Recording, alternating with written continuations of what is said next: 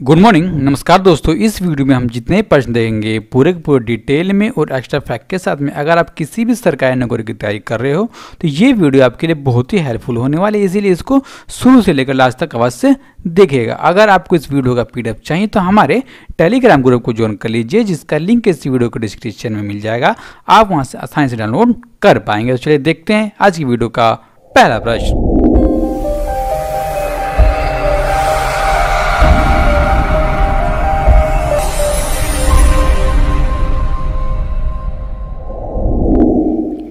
हाल ही में केंद्रीय सशस्त्र पुलिस बल द्वारा आयोजित अखिल भारतीय पौधारोपण अभियान में किस केंद्रीय मंत्री ने शिरकत की यानी कि इसका उद्घाटन किसने किया?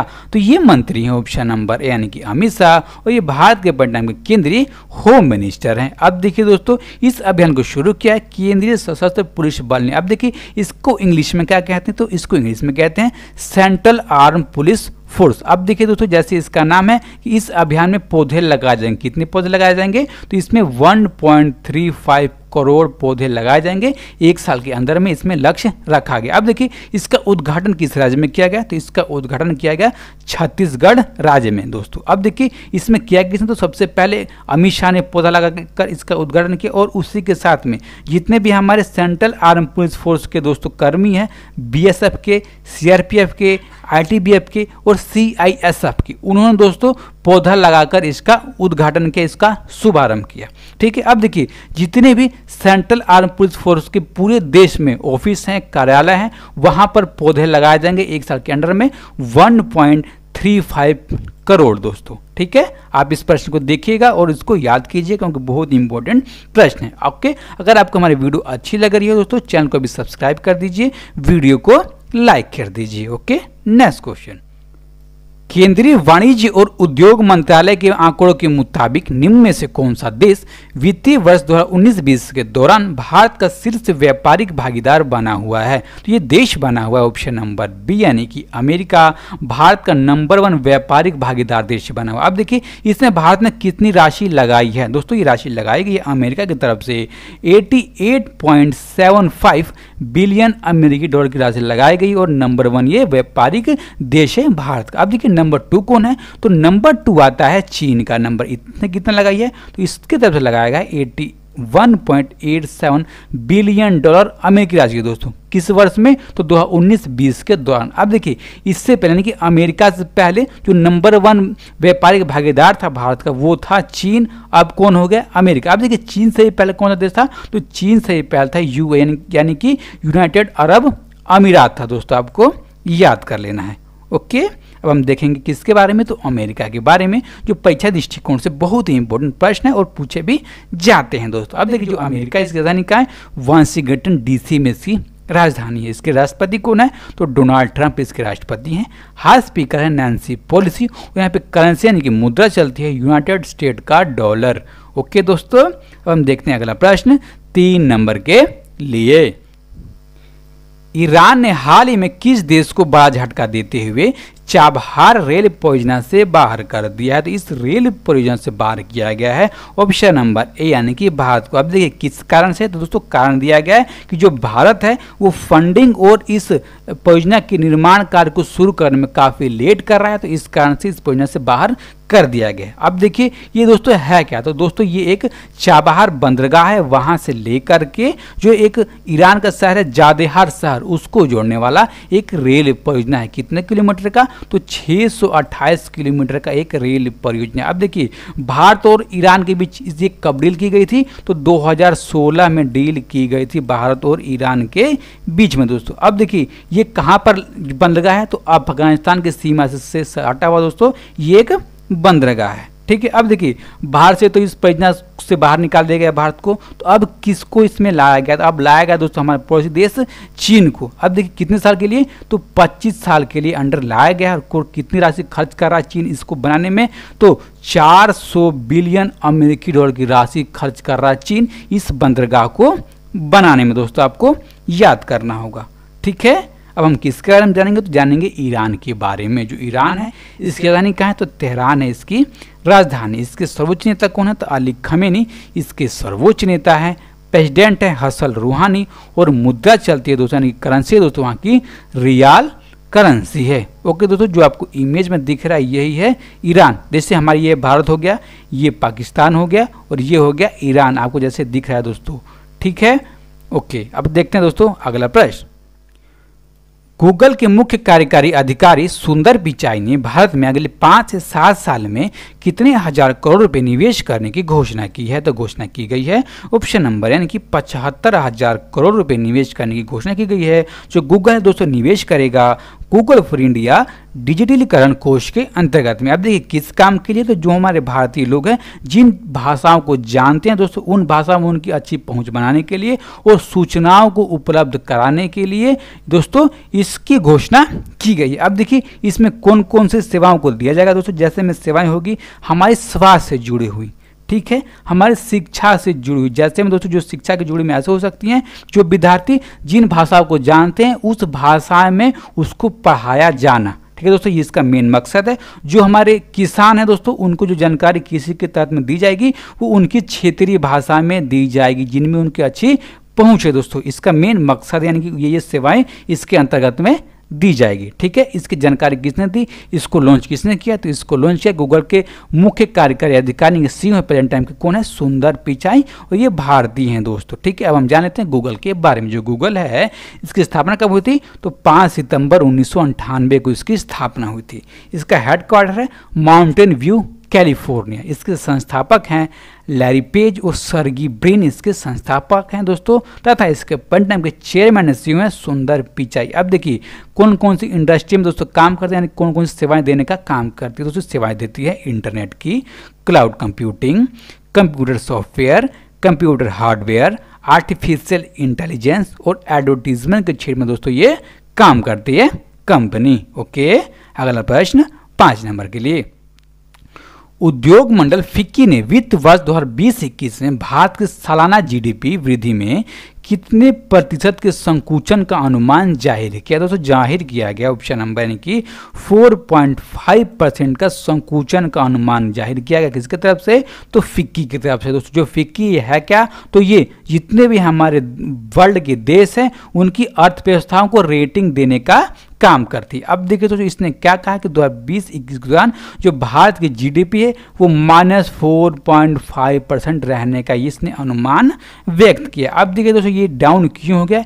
इस कारण हुआ दोस्तों कि कोरोना वायरस की महामारी के दौरान जो हमारा देश है लॉकडाउन की स्थिति में चला गया था, जितने भी हमारे कल खरकाने वो बंद हो गए थे, हमारी अर्थव्यवस्था का चक्का जाम हो गया था दोस्तों तो इसके कारण जो ये जीडीपी है हमारी 2020-21 की, वो डाउन हो गई है। कितना डाउन हो गया? तो माइनस फोर का अनुमान व्यक्त किया गया है, फिक्की के द्वारा दोस्तों आपको याद कर लेना है। ठीक है दोस्तों, अब देखिए, मई में रिज़र्व बैंक ऑफ़ इंडिया ने दोस्तों ऐसा ज़ाहिर किया था कि जो हमारी जीडीपी है दोस्तों, इस वर्ष की, यानी कि इस वित्त वर्ष की, वो माइनस में जाने का अनुमान व्यक्त किया था आरबीआई ने भी। ठीक है दोस्तों, आपको याद कर लेना है। अब हम देंगे अगला प्रश्न छः नंबर के लिए। डॉक्टर विधु पी नायर को किस देश में भारत का अगला राजदूत नियुक्त किया गया? तो राजदूत नियुक्त किया गया है। ऑप्शन नंबर बी, यानी कि तुर्कमेनिस्तान में भारत के अगले राजदूत होंगे डॉक्टर विधु पी नायर। ये हैं कौन दोस्तों? ये हैं 2002 बैच के एक आईएफएस अधिकारी और ये वर्तमान में विदेश मंत्रालय में निदेशक के पद पर अपनी सेवा दे रहे हैं। दोस्तों, ये कार्यरत हैं। ठीक है दोस्तों, अब देखिए जो अपना पद है, यानी कि तुर्कमेनिस्तान में भारत के अगले राजदूत के रूप में ये जल्द ही पद संभाल लेंगे, ऐसा दोस्तों इन्होंने कहा है। ठीक है, अब हम जानेंगे तुर्कमेनिस्तान के बारे में। जो तुर्कमेनिस्तान है, इसकी राजधानी कहाँ है? तो इसकी राजधानी है अशगबत कौन? अशगबत इसकी राजधानी है। इसकी दोस्तों परिणाम के राष्ट्रपति हैं गुरबदून बर्दिमिंदो। कौन? गुरबदून बर्दिमिंदो, इसके परिणाम के राष्ट्रपति, यानी कि प्रेसिडेंट है। अब देखिए यहाँ पर करेंसी कौन सी चलती है? तो यहाँ पर करेंसी चलती है। तुर्कमेनिस्तान मेनाट, यहाँ पर करेंसी चलती है तुर्कमेनिस्तान में, दोस्तों, आपको याद कर लेना है ओके नेक्स्ट क्वेश्चन सात नंबर के लिए।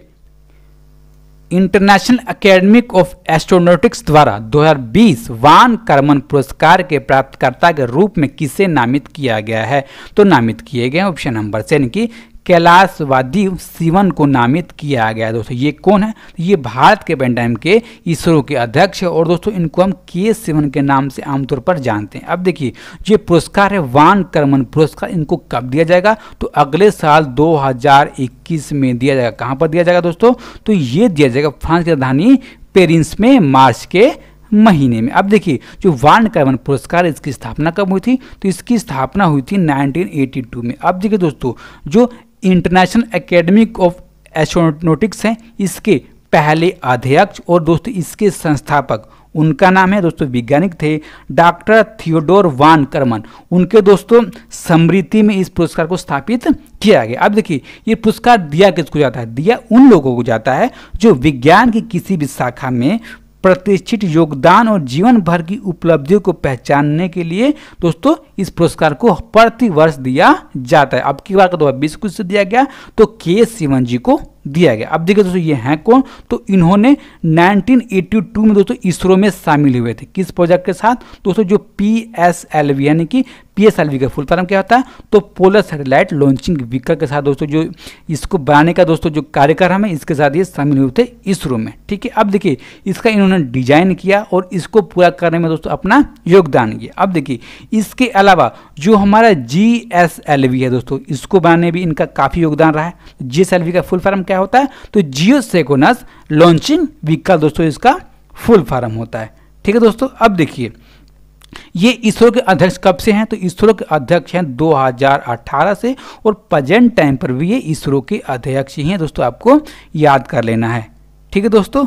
अब देखिए, भारत की तरफ़ से ऐसे पहले व्यक्ति कौन थे जिनको वान करमन पुरस्कार से नवाजा गया था, जिसको दिया गया था दोस्तों? तो ये पहले व्यक्ति थे जिनका नाम है दोस्तों उड़पदी रामचंद्रन राव। कौन सा? उड़पदी रामचंद्र राव। इनको 2005 में इस पुरस्कार से नवाजा गया था। अब देखिए, दूसरे व्यक्ति कौन है? तो दूसरे व्यक्ति हैं 2007 में दोस्तों इनको इस पुरस्कार से नवाजा गया था। उनका नाम है कृष्ण स्वामी कस्तूरी रंगन को ना कृष्ण स्वामी कस्तूरी रंगन और तीसरे व्यक्ति हैं के सिवन, जिनको 2020 में वान करमन पुरस्कार से नवाजा गया है, दिया गया है। अब हम जानेंगे दोस्तों इंटरनेशनल अकेडमी ऑफ़ एस्ट्रोनोटिक्स के बारे में। अब देखिए दोस्तों, इसके संस्थापक कौन थे? इसके संस्थापक थे डॉक्टर थियोडोर वान करमन और दोस्तों, उनकी समृद्धि में उनको सम्मान देने के लिए इस पुरस्कार की स्थापना की गई थी 1982 में। आपको याद कर लेना। अब देखिए इसका मुख्यालय क्या है? तो इसका मुख्यालय है पेरिस में और पेरिस किसके राजधानी तो पेरिस राजधानी है फ्रांस की। इसीलिए मार्च के महीने में इस पुरस्कार को पेरिस में दोस्तों दिया जाएगा। ओके, किसके द्वारा? तो इंटरनेशनल एकेडमी ऑफ़ एस्ट्रोनॉटिक्स के द्वारा ओके नेक्स्ट क्वेश्चन देखते हैं आठ नंबर के लिए। किस राज्य ने एलिट इंडिया ट्रांसफॉर्मेशन समिट के लिए उत्कृष्ट पुरस्कार 2020 को जीता है। इस पुरस्कार को जीता गया है।